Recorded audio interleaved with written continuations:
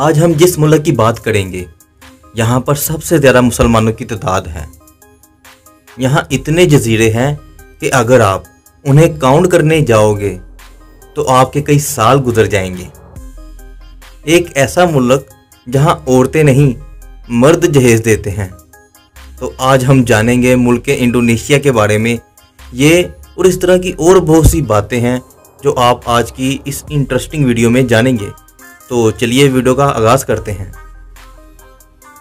Indonesia जनूब मशरकी Asia में वाक़ एक ऐसा मुल्क है जो सतारह हज़ार जजायर पर मुश्तमिल है।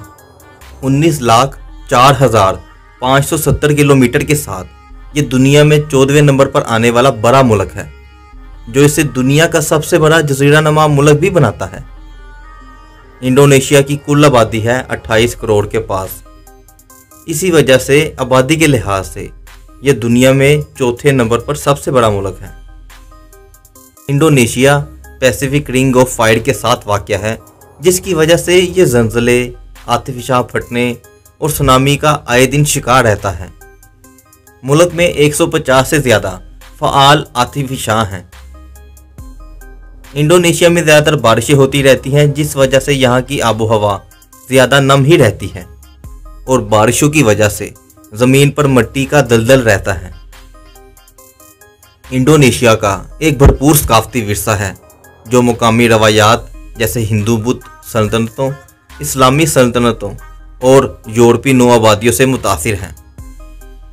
जजीरा नुमा एक अहम तजारती खत्ता है, जिसमें मलाका और मकासद जैसी बंदरगाहें हैं, जो एशिया और यूरोप के दरमियान तजारत के बड़े मराकज के तौर पर काम करती हैं। इंडोनेशिया के मज़हब की बात करें तो यहाँ पर 87 फ़ीसद इस्लाम 10 फ़ीसद क्रिश्चन 1.7 फ़ीसद हिंदुज़म और 0.7 फ़ीसद बुद्धिज़्म यहाँ आबाद हैं। इंडोनेशिया 300 से ज़्यादा नस्ली ग्रोहों का घर है, जिनमें हर एक की अपनी ज़ुबान, सकाफत और रवायात है। बहासा, इंडोनेशिया की सरकारी ज़ुबान है।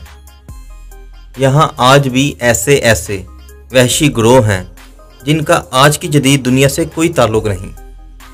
और अगर कोई जो इस ग्रोह से ताल्लुक ना रखता हो और इनके अलागों के पास नज़र आ जाए तो वो उसे बेरहमी से मार देते हैं। इंडोनेशिया में शादियाँ भी बड़ी अजीब होती हैं। यहाँ औरतें नहीं, मर्द अपना जहेज का सामान लेकर लड़कियों के घर रहने को चले जाते हैं।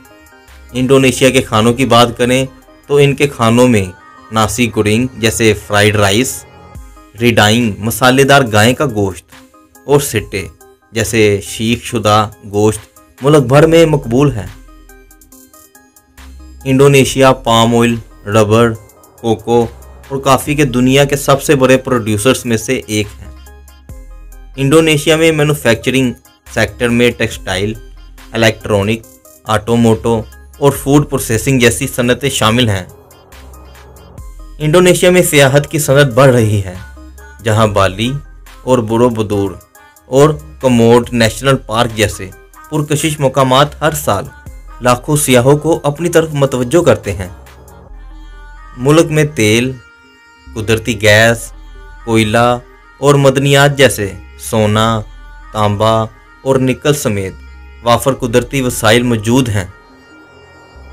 इंडोनेशिया में कॉल करने से पहले प्लस सिक्सटी टू, प्लस छः दो डायल करना पड़ता है। यहाँ पर आम इंसान की पर कैपिटा इनकम है। पाँच हज़ार दो सौ इकहत्तर डॉलर के साथ दुनिया में एक सौ सतानवे नंबर पर आता है। और अगर पाकिस्तान की बात करें तो वो चौदह सौ इकसठ डॉलर के साथ दुनिया में एक सौ अट्ठावनवे नंबर पर आता है।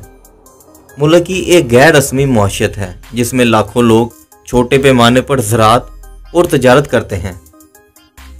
इंडोनेशिया में नौजवान आबादी है, जिसकी आबादी का बड़ा हिस्सा 30 साल से कम उम्र है। इंडोनेशिया में तलीम तक रसाई बेहतर हो रही है, लेकिन शहरी और दही इलाकों के दरमियान मैार और गैर दस्तियाबी में अब भी तफावत है। और सेम यही हाल सेहत की देखभाल का भी है, जो शहरों की ज़िंदगी और गाँव की ज़िंदगी में वाजह फ़र्क आपको देखने को मिल जाएगा। इंडोनेशिया में सीरी वजिया और मजापाहत की हिंदूबत बाचाहते परवान चली। जिसने मुतासर कन आसार कदीमा के मकाम जैसे बोरोबोदोर और परम्बन नान को पीछे छोड़ दिया। इस्लाम इंडोनेशिया में तेरहवीं सदी में मुतारफ हुआ और मुल्क की सकाफत और माशरे की तश्कील करते हुए इस्लाम गालिब मज़हब बन गया। इंडोनेशिया सतारहवीं सदी में डचों की तरफ़ से नौ आबादी था और 1945 में आज़ादी हासिल करने तक इसे डच ईस्ट इंडीज़ के नाम से जाना जाता था।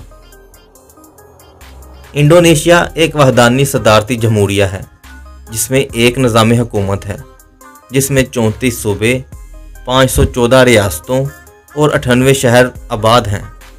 इंडोनेशिया का सदर रियासत और हुकूमत के सरबराह के तौर पर काम करता है और बरह रास्त मकबूल वोट के ज़रिए पाँच साल की मुद्दत के लिए मुंतखब होता है।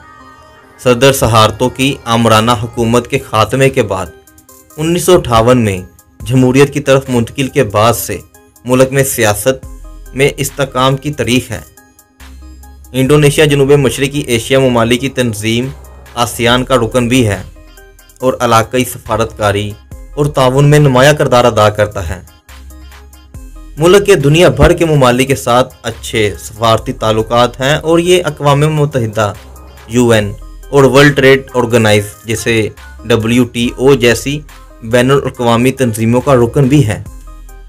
तो ये तो थी वीडियो मुल्क के इंडोनेशिया के बारे में। अगर आप इंडोनेशिया के गाँव की ज़िंदगी देखना चाहते हैं तो उसके लिए यहाँ क्लिक करें। झूठे खुदाओं का मुल्क देखना चाहते हैं तो उसके लिए यहाँ क्लिक करें।